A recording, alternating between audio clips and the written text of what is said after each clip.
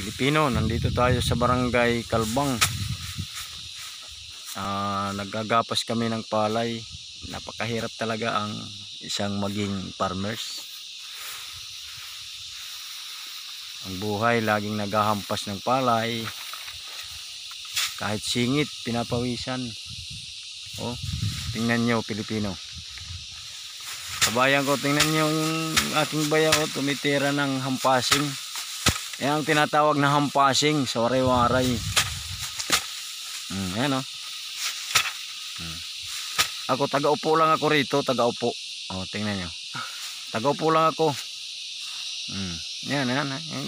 Ginagawa namin, oh. bundok yan. Oh. Hmm. Kikita nyo, Pilipino. Tingnan nyo, tingnan nyo. Hmm. Ah, ako nga pala si Digong. Kasama ko si Bayaw dyan diyan. Kung kung sa bansag upayan upa. Oh, yan. Oh, thank you po.